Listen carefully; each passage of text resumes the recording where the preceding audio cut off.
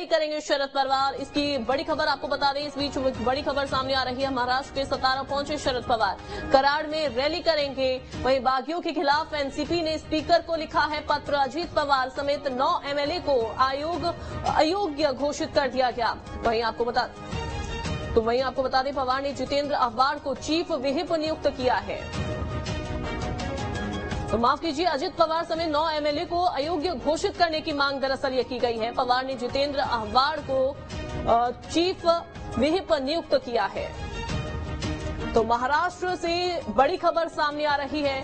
शरद पवार कराड़ में रैली करने वाले हैं। बागियों के खिलाफ एनसीपी ने स्पीकर को पत्र लिखा है। अजीत पवार समेत नौ एमएलए को अयोग्य घोषित करने की मांग दरअसल की गई है। तो महाराष्ट्र के सतारा पहुँचे हैं शरद पवार। वहीं एनसीपी में फूट के बाद बोले संजय राउत